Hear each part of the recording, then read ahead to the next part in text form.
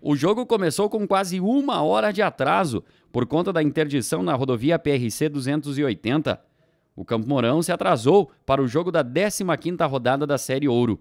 Confronto no ginásio Monsenhor em Gilberto, o Palmas precisando da vitória. Mas os visitantes saíram na frente com Leandro Caires, 1 a 0 no primeiro tempo.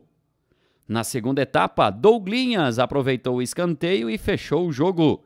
Palmas 0, Campo Mourão 2, o quarto jogo sem vencer dos palmenses.